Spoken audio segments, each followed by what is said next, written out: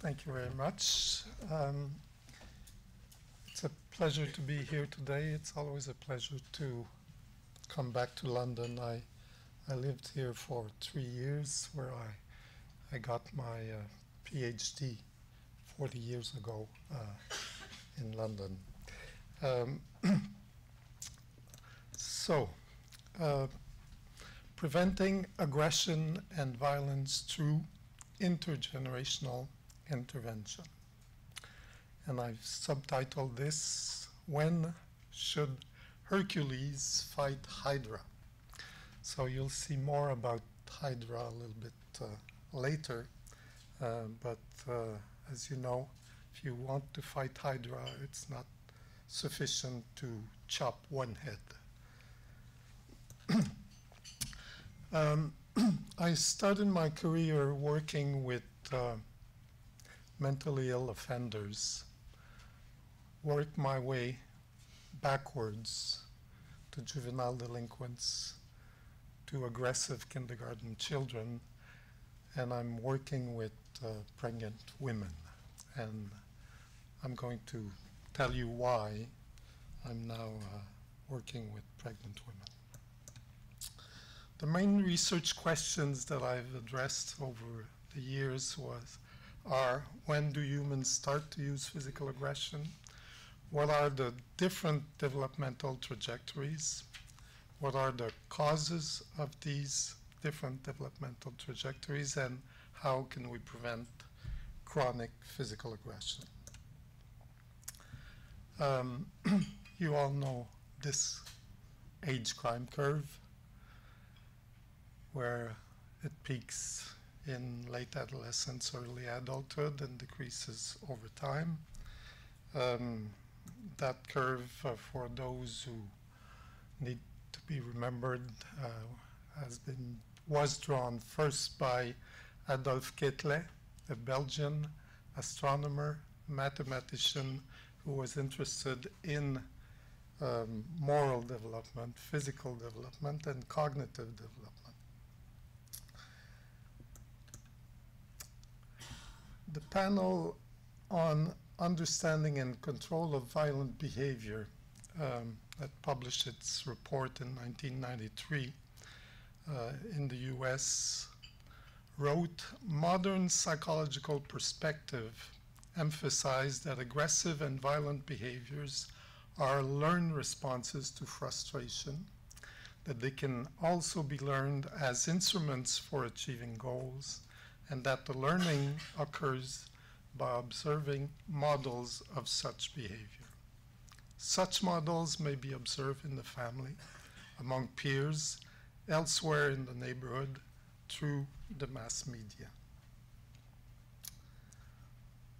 This idea of social learning was uh, the reason why in 1984 uh, I started this longitudinal study with a group uh, of colleagues in Montreal.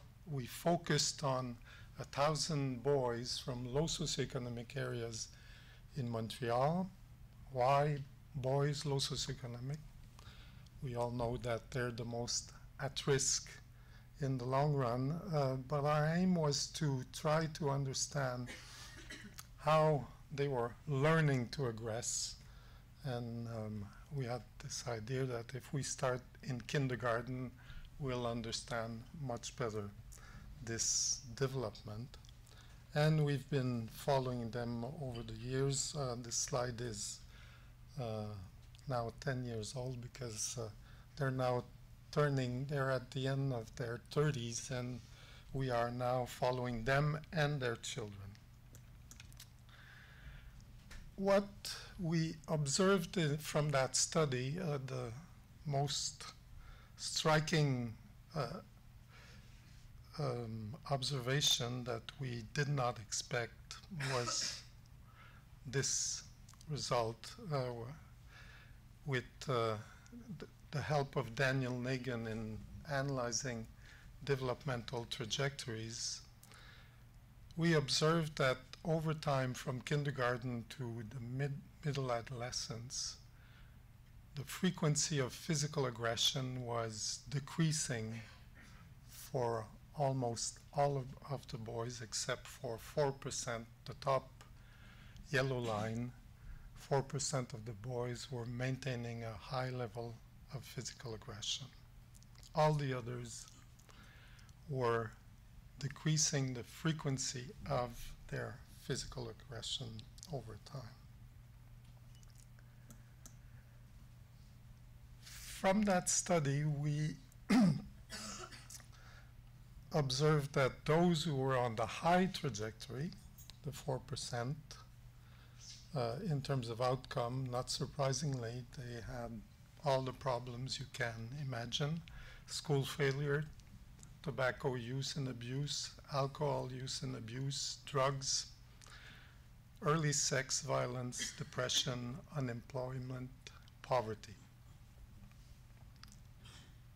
We also followed in another, another sample, um, a random sample of the kindergarten children in the province of Quebec in, in Canada. We also observe a similar pattern for girls. Girls use aggression less frequently than boys from early on, uh, but those who use physical aggression the most from, um, from kindergarten onwards, although the frequency is decreasing, they, their trajectory leads them also to tobacco use and abuse, school failure, early sex, partner aggression, depression, teenage pregnancy, and welfare. The conclusions from that study was that physical aggression does not start during adolescence. Frequency of physical aggression does not increase after school entry.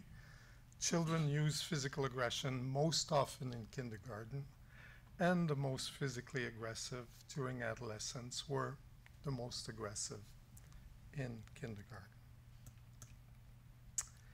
Within that study, we did a randomized control trial. So we randomly allocated part of the most aggressive, hyperactive in kindergarten to an intervention group and a control group. So I'll be giving you now some results, long-term results from that randomized controlled trial. And we are comparing the kindergarten boys who did not have behavior problems, hyperactivity, aggression in kindergarten, that's 70% of these boys, to the 30% who were the most aggressive and hyperactive in kindergarten. The intervention was an intensive preventive intervention. We had psychologists and social workers that were visiting the families at home every second week over a two year period from the first year of elementary school to uh, the end of the second year of elementary school. At the same, same time, we were at school do, doing social skills training, and the social skills training was not putting the aggressives together to try to help them learn not to aggress, but rather putting one or two aggressive within a group of highly prosocial peers so that they could learn from their peers. And at the same time, um, so this part, the social skills training, was over a two year period, and we were giving support to the teachers in the same way that we were supporting the parents.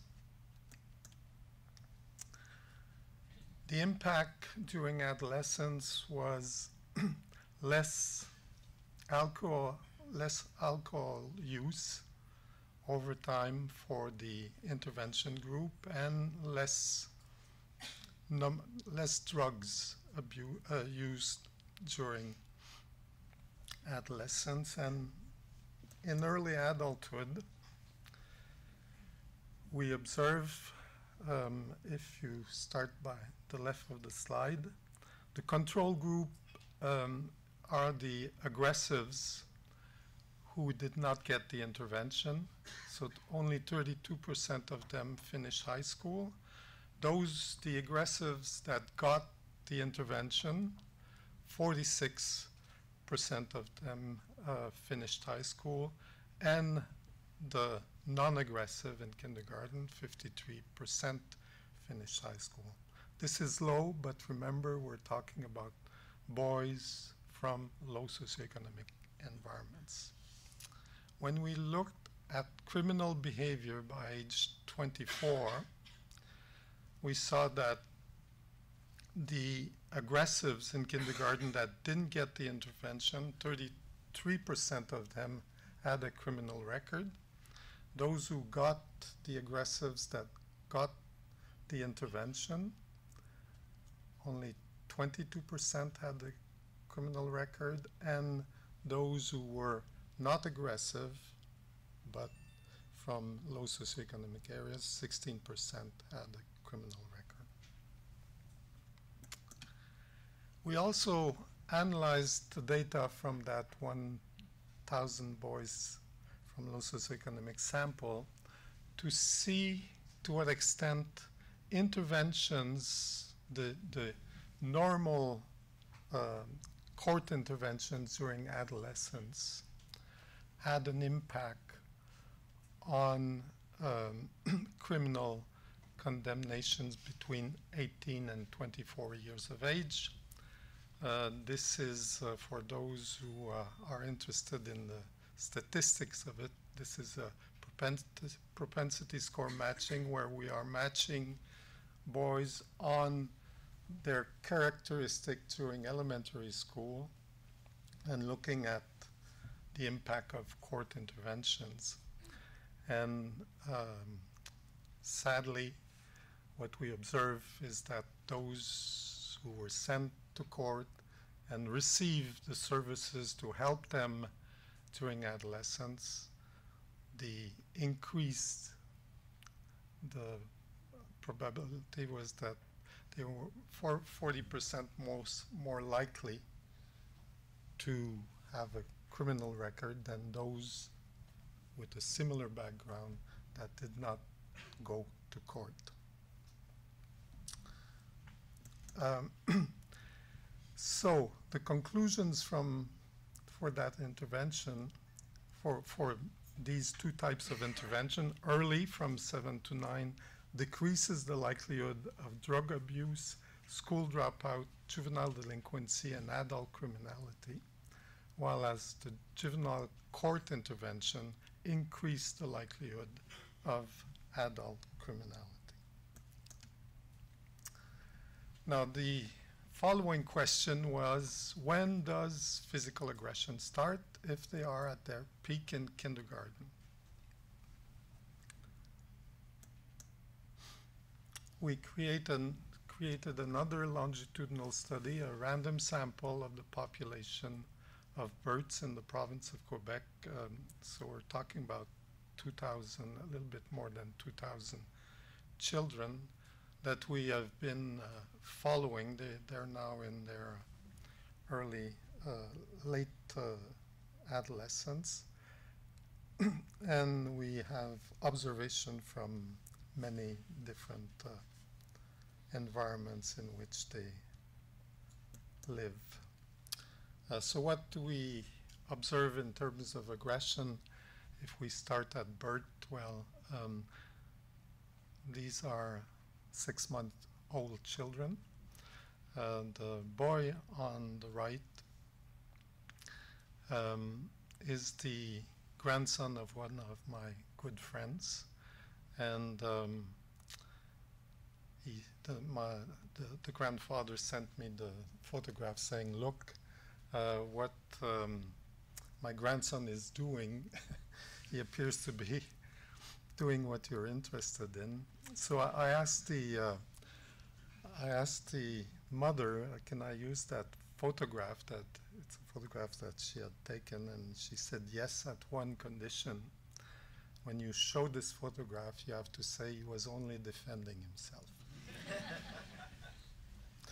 um, so when we aggress, uh, we are, mother says, we are defending ourselves.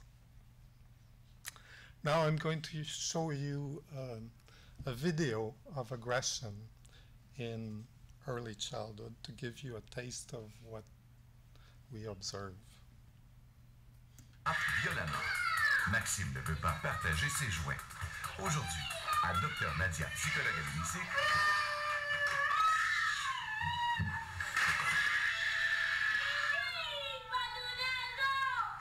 Ça se résume souvent par une claque. Il est assis sur quelque chose, il pousse, il jette à terre. Euh, c'est assez violent comme, euh, comme conflit quand ça éclate.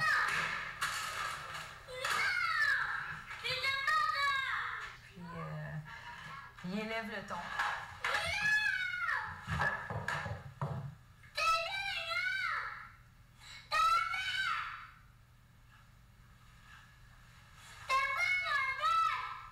Comment vous intervenez quand il y a un conflit?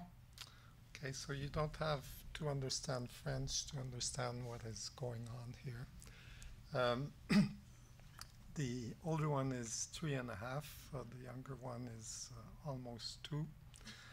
And you see that um, fighting for toys is not because of the lack of toys. um, children start very early uh, to physically aggress each other. A- and so this, these are the developmental trajectories that we observe from 17 months of age to 60 months of age.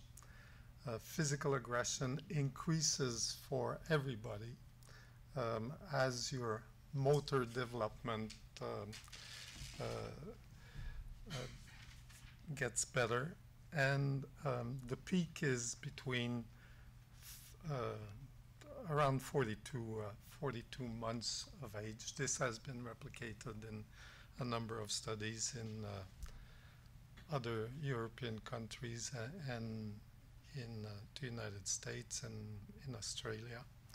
A- and so the peak is is around 42 months of age, and then the frequency of physical aggression decreases.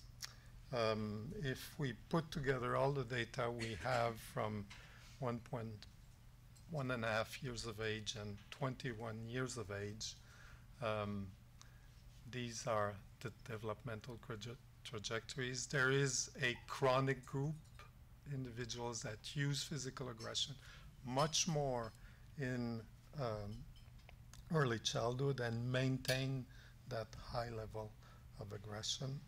Um, but everybody has done it, and most of us learn uh, to control that type of behavior. Uh, so the conclusions for these from these longitudinal studies is that humans do not learn to physically aggress; they learn not to physically aggress. Chronic physical aggression is very rarely late onset. From the available evidence, this may be true for other behaviors, such as stealing and destruction of, prop- of property. When you look at this behavior in early childhood, it's, uh, it happens many times in a day, uh, not uh, once uh, in a while. So over the last few years, we've been interested in the uh, causal mechanisms uh, in terms of aggression. What causes chronic physical aggression? Is it the environment? Is it genes? Is it genes that moderate the environment? Is it the environment that impacts genes? So I'm going to show you um, some of these results. from an environmental perspective, um, the best predictors of chronic physical aggression from early childhood onwards are the following if we start at the bottom. Um, and here we're, we, we're comparing data that we have from both parents um, in the families. We have teenage pregnancy, poor marital relationships, maternal low education, poverty, maternal anger, maternal depression, maternal stress, maternal malnutrition during pregnancy, and maternal smoking during pregnancy.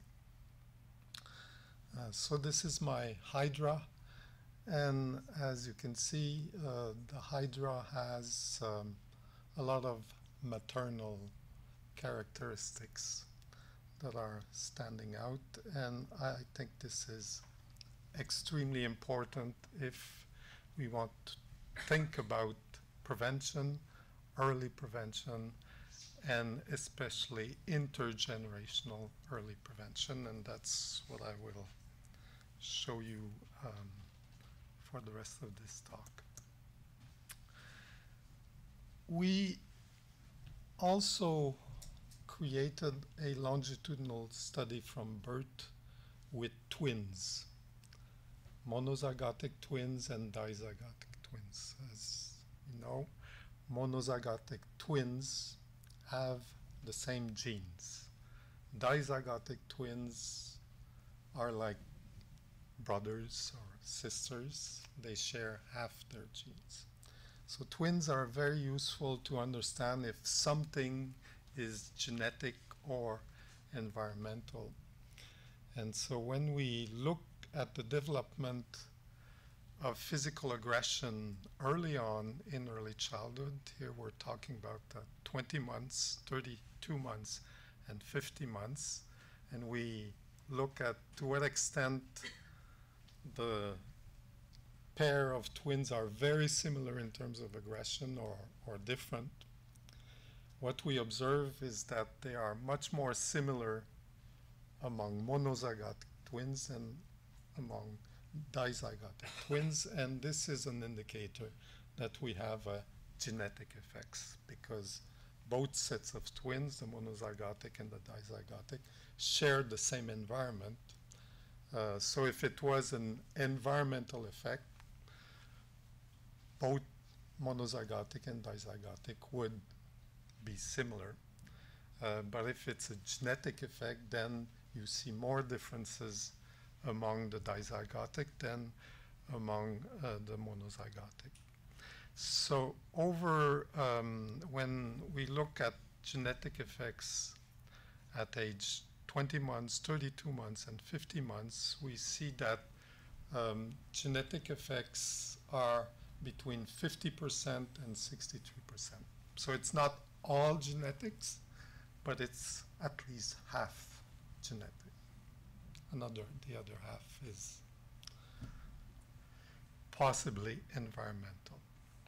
And uh, we also see that the effects of genetic factors uh, at 20 months are substantially decreased over time, while new genetic effects appear at 32 and 50 months. So when we say it's genetic, it's not some genes over the life course, it's many genes.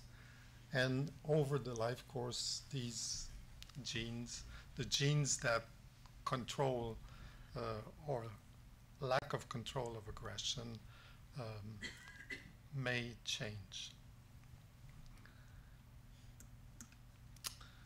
But when we look at twin studies, uh, the, the traditional genetic studies with twins that we did here, we do not control for something that's recent in terms of knowledge concerning genetics.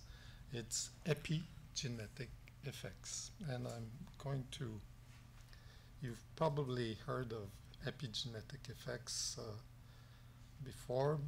It, we started hearing about this 10 years ago.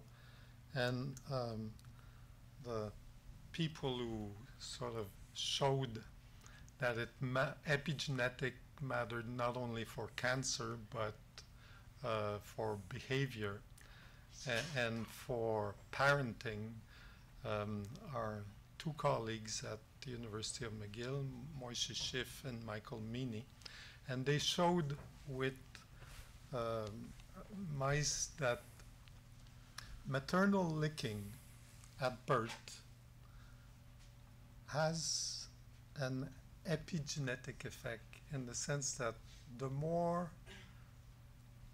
the, the pups are licked by the mother, the better the brain develops to control behavior over time. And the more they are licked, the longer they live because the less, the better they can control stress. That was known for uh, quite a number of years, but the mechanism was not known.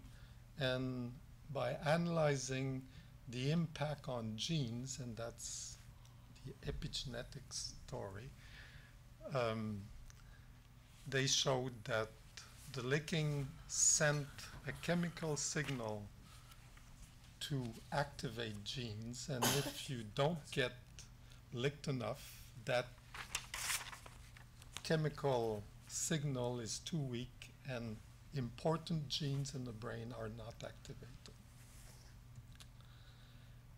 Um, I was then involved in a study with uh, Moshe Szyf and Steve Suomi, um, where we looked at um, a similar model but with monkeys. Um, these are monkeys that um, the experiment started in the 1950s to study attachment. So monkeys at birth are some are separated from their mothers and brought up uh, with other young monkeys, but without the care of the mother, and others are brought up by their mothers.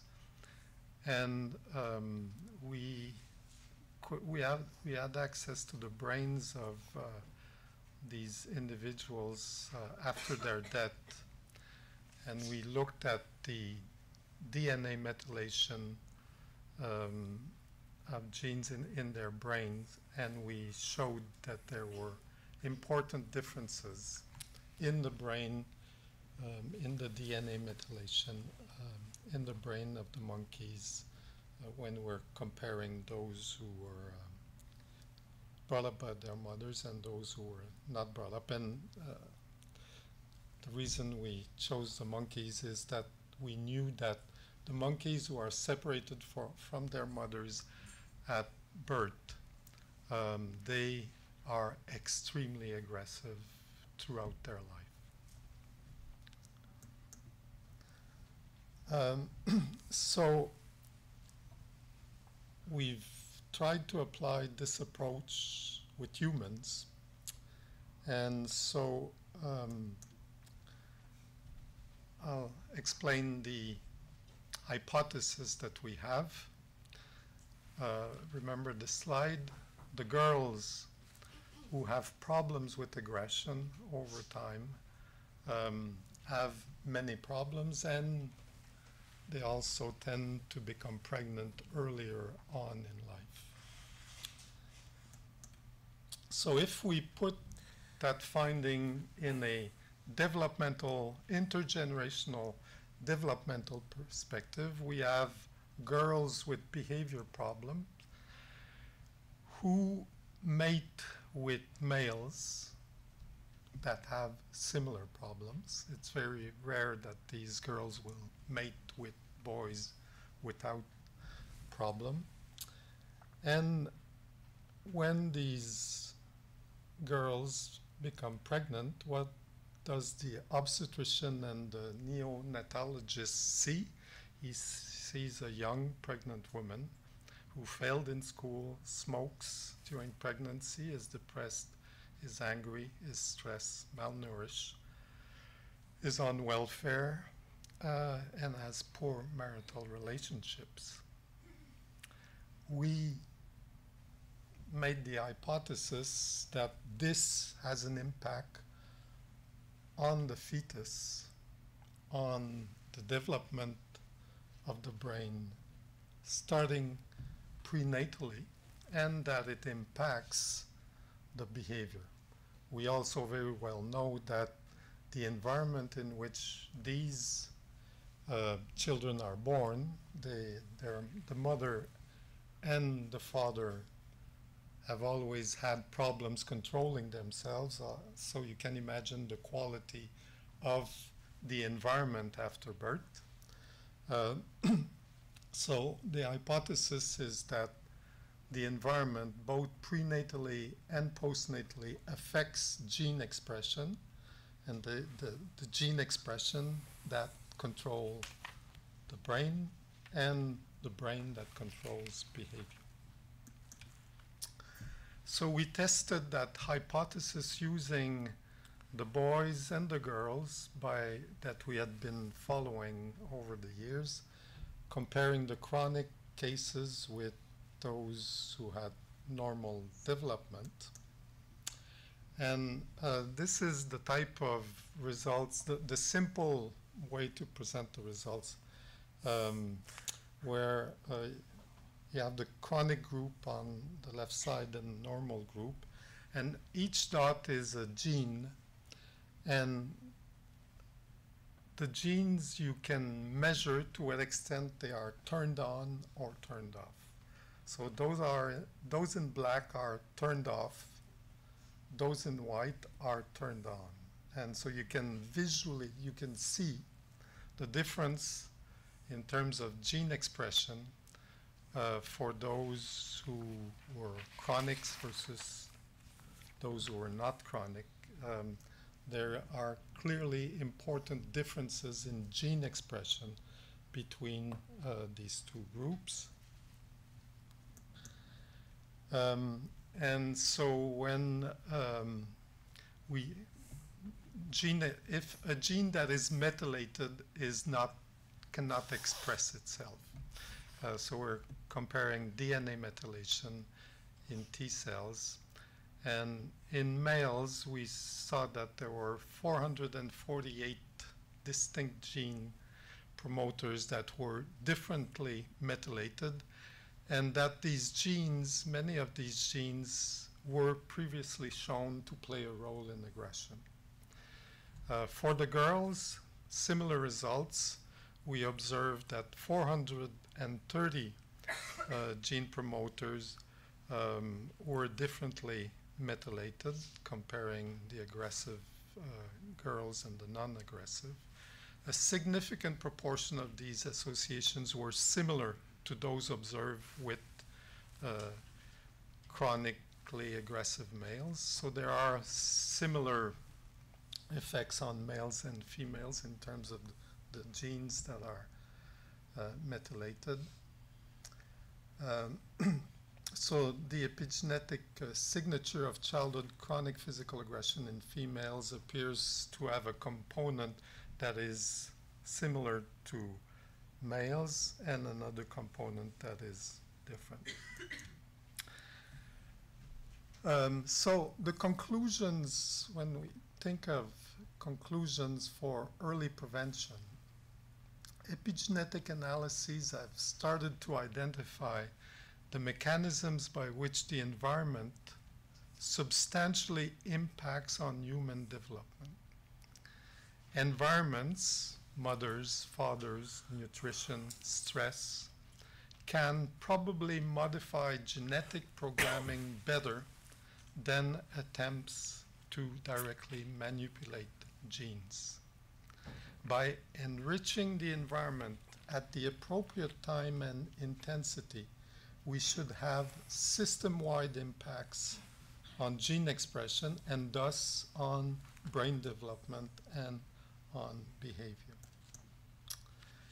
Environmental effects on human development, like genetic effects, appear strongly intergenerational and highly linked to maternal development. If this is true, prevention of chronic physical aggression and other developmental problems needs to take an intergenerational perspective and start in early pregnancy at the latest. When I, I say aggression problems and other developmental problems, these ideas are present in the medical field for most of the chronic illnesses that we have. It's becoming clearer and clearer that the problems that we get in terms of cancer, in terms of heart disease, started early in utero from in utero environmental effects. So it's not surprising that we would find that also for uh, behavior. And these ideas are, it's called the Barker hypothesis, and it started here in London uh, by Barker, who uh, followed, um, measured the um, heart rate problems in a large sample of miners. I think it was in, in Wales that they have good, they had good data on uh, birth weight and uh, death of, of miners. And this led to this whole uh, idea of developmental origins of health. Um, and there is also developmental origins of uh, criminal behavior. So this means that although chronic behavior problems are largely a male problem, its early prevention requires giving the best services to pregnant women and families of newborn because this targets the natural intergenerational biopsychosocial systems. This conclusion is also probably true for numerous other physical problems like obesity, cardiovascular disease, psychological problems like depression, substance abuse, sexual abuse, and socioeconomic problems like school performance and employment. Someone said it much more simply. The chief of the Soli people in Zambia. When you educate a man, an individual is educated. When you educate a woman, you educate her children and thus the nation. Thank you.